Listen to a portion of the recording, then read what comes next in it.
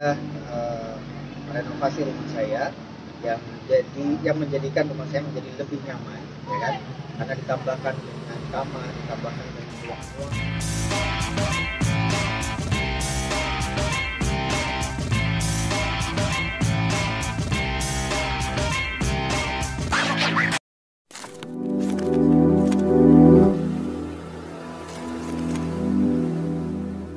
Assalamualaikum warahmatullahi wabarakatuh. Welcome back to my channel Detektif D. Teman-teman, kita kali ini bahas rekan-rekan Pak Jaman ya. Bagaimana bisnis-bisnis rekan-rekannya ini berkembang dengan sangat pesat gitu ya. Dan mungkin dari mereka juga kebagian besar juga gitu ya. Karena masa Pak Jaman kayak sendiri kan nggak mungkin gitu. Teman-teman apalagi ini teman-teman saat sejawatnya gitu. Ibaratnya sekawannya gitu. Pasti oh kamu kaya saya harus kaya dong. Iya dong. Ya dalam sebuah pergaulan ya pertemanan itu wajar sekali gitu. Apalagi ini teman dekat ngebangun uh, nya bersama-sama gitu ngebangun bisnisnya mungkin bersama-sama ngebangun usahanya mungkin bersama-sama. Nah teman-teman ada peribahasa dalam bisnis itu ya kalau misalkan bahasa gampangnya aja ya yang namanya pemenang itu mengambil semuanya. Artinya kalau pemenang itu ya harus segala sesuatu yang berhubungan dengan lini bisnisnya dia yang pegang gitu. Artinya teman-teman uh, semua yang berhubungan dengan kalau misalkan ini berbicara tentang daku ya dengan daku itu ya otomatis mereka semua yang pegang juga gitu. Nah kita kali ini bahas tentang daku properti milik pak ya milik daku ya mungkin mungkin gitu dah. Kita bahas dulu ya teman-teman. Nah di sini ada daku properti di website ya uh, saya buka dagu properti id.id di sini ada dagu properti berandanya nah ini bisnis uh, mungkin properti-properti yang dibangunnya yang dijualnya. Di sini ada portofolionya juga. Di sini juga ada Pak Jaman ya. Ini ada gambar Pak Jaman ini. Beli rumah akhir tahun bonus cashback 20 juta umroh harga kafling mulai 120 juta 27 juta 127 juta. Di sini ya uh, dipakai buat promosi juga Pak Jaman di sini. Artinya mereka saling keterkaitan di sini ya. Saya nggak tahu keterkaitannya ada dalam bentuk apa. Secara lini bisnis pasti ada. Cuma ya kalau kita melihat dari titik yang lain mungkin ya namanya juga daku bisnis Nusantara ya. Oke teman-teman.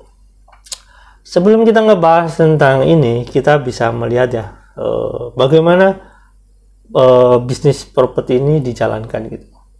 Oke, kita lihat dulu video rujukannya ya teman-teman.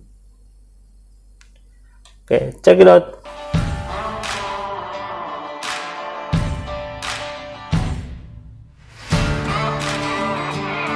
bensound.com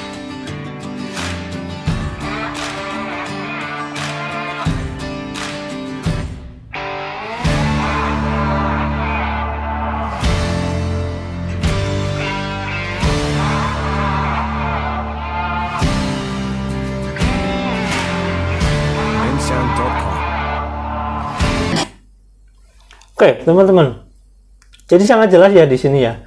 E, daku e, di sini daku properti. Yang jelas mereka ngambil peran sangat banyak di sini. Di mana kalau misalkan membangun asrama sama mereka, ngebangun pesantren sama mereka, ngebangun masjid sama mereka, ngebangun kelas sama mereka. Pokoknya yang berhubungan dengan daku itu dibangun sama mereka. Artinya kalau misalkan ya teman-teman, kalau misalkan ada bangunan masjid itu uh, mengambil dana sodako itu misalkan infak sodako daripada uh, para ya orang-orang baik ya tentunya para orang-orang baik yang menyumbangkan uangnya untuk pembangunan masjid itu yang bangun mereka.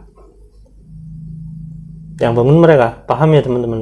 Jadi bangunannya dibangun sama mereka. Jadi otomatis ya keuntungannya buat mereka. Tapi di sisi lain mereka bicara tentang hal yang berbeda uh, katanya keuntungannya untuk dakwah daku.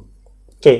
oke okay, is oke okay, nggak apa-apa. Kita bicara tentang keuntungan untuk dakwah daku. Tapi nggak mungkin lah. Sekarang kalau misalnya kita bicara tentang kekayaan Pak Jaman itu kaya sekali misalkan. Sampai triliun-triliun gitu misalnya terus temennya misalkan kayak uh, Pak Jamil kayak gitu atau Anwar Sani atau bagaimana nggak kaya misalkan jomplang yang satu kaya punya mobil Fortuner misalkan.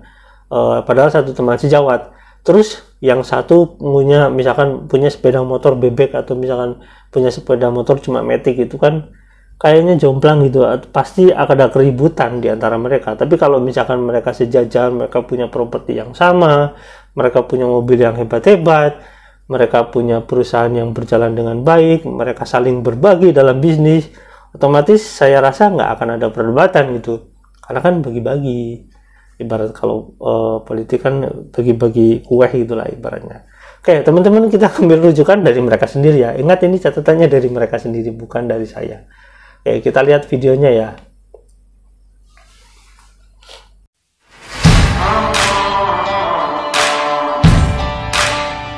Terima kasih buat Daku Properti yang sudah uh, merenovasi rumah saya yang jadi yang menjadikan rumah saya menjadi lebih nyaman, ya kan? Karena ditambahkan dengan kamar ditambahkan dengan ruangan-ruangan ditambahkan dengan uh, toilet yang custom banget. Yang saya suka yang istri saya suka yang keluarga saya suka gitu. Dan juga saya mengajak teman-teman semuanya buat uh, ikut ya, buat yang pengen merenovasi rumahnya silahkan menggunakan jasa dan properti. Insya Allah bisa melayani sesuai dengan keinginan dan kebutuhan teman-teman semuanya dan berikan kemudahan dalam pembiayaan yang nanti akan dikoneksikan uh, dengan perbankan syariah yang menjadi mitranya Properti. Terima kasih kemudahan manfaat buat kita semuanya dan ingat bahwa keuntungan dari Dapat Properti untuk program dakwah beruntungan. Oke teman-teman, barusan dijelaskan ya keuntungan Daku Properti untuk program dakwah Darul Quran. Tapi ya kalian lihat sendiri lah misalkan itu ya, ya mungkin ya juga, mungkin juga enggak juga mungkin sebagian ya sebagian tidak. Itu semuanya serba mungkin namanya juga kehidupan ya. Nah teman-teman pada prinsipnya nggak masalah saya nggak bermasalah dengan rumah dia. Cuma pertanyaannya adalah rumah Pak ini Pak Anwar, Anwar Sani di sini keren kan? E, kalau misalkan kita lihat dari sisi sudut pandang mana pun pasti bagus banget. Nah terus rumah Pak Jaman bagaimana? Ya bagus juga dong. Iya bagus. Karena Pak Jaman otomatis orang yang paling sentral di sana otomatis bagus lah. Dan di sini rumah Pak Anwar Sani ini ini namanya Pak Anwar Sani ya yang di mana ini adalah rekan-rekan Pak Jaman di sini. Jadi pada prinsipnya teman-teman ya kalau misalkan satu pertemanan bisnis biasanya harus setara. Nah ini dia saya katakan bahwasanya setara nggak? Setara rumahnya bagus banget gitu ya. Kalau misalkan dari sisi lihat dari desainnya kayak gitu ya otomatis. Nah di sana juga ada mobil kan, mobil-mobil besar di sana yang udah otomatis kalau misalkan dari lihat bodinya, walaupun ini lihatnya dari samping nggak kelihatan, kalau lihat dari bodinya mungkin itu yang cc di atas 2000 ya. Kalian bisa tebak yang cc di atas 2000 ada F, ada P gitu ya. Semuanya kalian tahu lah. Nah teman-teman kita akan melihat dari sisi uh, organisasinya ya. Di mana organisasi ini pasti melibatkan orang-orang yang berhubungan di usaha itu ya. Di sini kita lihat ya struktur organisasinya. Uh, saya ngambilnya dari sini langsung ya dari websitenya. Di sini ada ini ada gambar mereka. Uh, ya gambar mereka pokoknya lah yang berempat itu ya.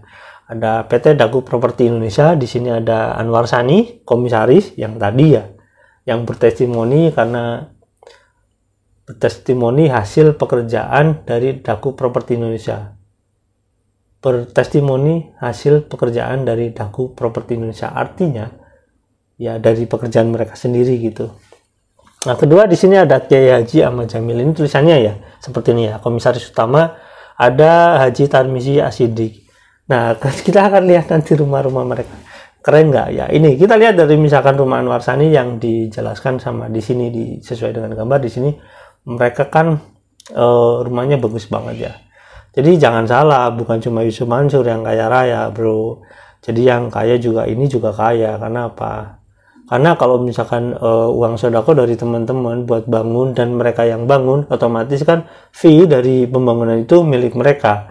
Itu halal, iya halal. Maksudnya eh, boleh-boleh uh, aja gitu. Jadi mereka kaya dari itu, ya jelas ya. Kalau misalkan kayak gitu bisa jadi kaya gitu. Kalau misalkan mereka bilang ini untuk uh, dakwah daku ya bisa jadi tapi untuk kepentingan mereka juga iya gitu. Ini pasti karena ada hasil dari situ ya. Ini nggak mungkin nggak gitu. Kita lihat dari profil perusahaannya ya teman-teman biar kita fair nggak cuma lihat di sini kita lihat di profilnya. Sini profil perusahaan PT Dagu Properti Indonesia. Di sini ada uh, tahunnya ya. Lebih tepat tahunnya 2017 ya udah cukup berapa tahun yang lalu lah gitu terus di sini ada orang-orang yang pemegang saham. Di sini ada pengurus dan pemegang sahamnya. Ada Ahmad Jamil. Nah kalian tahu kan Ahmad Jamil? Orang yang ada di foto tadi maksudnya. Tarmizi ya orang yang ada di foto jadi juga. Muhammad Anwar Sani. Nah kita uh, ulang ya. Di sini ada Ahmad Jamil sebagai komisaris utama. Ada Tarmizi sebagai komisaris. Ada Muhammad Anwar Sani sebagai komisaris ya benar ya di sini ya. Sama persis sama struktur organisasi di sini. Terus di sini ada Abdul Sidik sebagai direktur. Terus Ju, Ju Judi. Namanya Judi? Oke. Judi Sunardi sebagai direktur. Nah begitu ya teman-teman.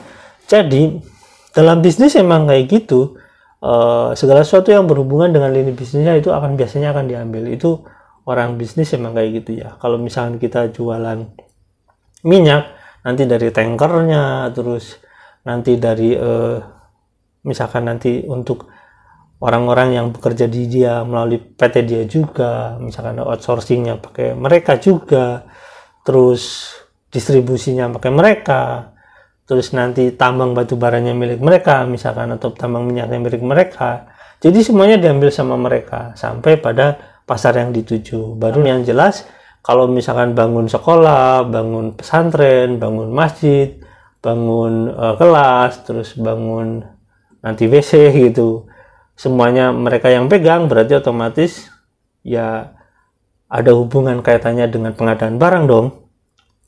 Eh kalau misalkan eh, di sana kan ada perusahaan tentang yang sama ya yang berhubungan dengan perusahaan itu ya. Dari PT Daku Baja Indonesia misalkan ya.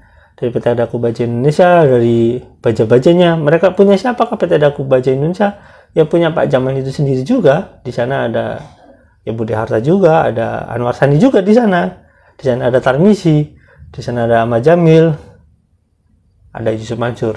Jadi pada prinsipnya teman-teman, segala sesuatu yang berhubungan dengan pesantren itu yang ngelola mereka, yang bangun mereka, terus semuanya apa mereka. Jadi mereka kaya, iya. Kalau misalkan teman-teman masjid kan biasanya kalau masjid ya, kalau masjid saya biasanya itu kan uang dari sodako atau infak. Terus uang itu dibangun sama uh, Dagu Properti pengadaan barangnya dari PT Baja Dagu Baja terus karyawannya dari mereka juga yang dapat siapa? yang dapat mereka dong. Iya tentu saja mereka. Makanya mereka pada kaya-kaya. Kalau kita melihat dari sisi itu aja. Tapi apakah dengan dari sisi itu aja mereka akan sangat kaya raya? Saya rasa tidak. Kalau Pak zaman bisnis uh, awal mulai ini kan baru ya? Kalau awal mulanya warung steak itu modal awalnya dari mana? Dengan kapitalisasi yang sebesar itu, ya saya nggak tahu. Dari mana. Teman-teman tanya sendiri jawab mereka. Mereka bisa nggak jawab awal muasal bisnisnya dari mana? Tanya dong. Oke, terima kasih. Jangan lupa like, subscribe, dan komen. Jangan lupa juga share. Ya,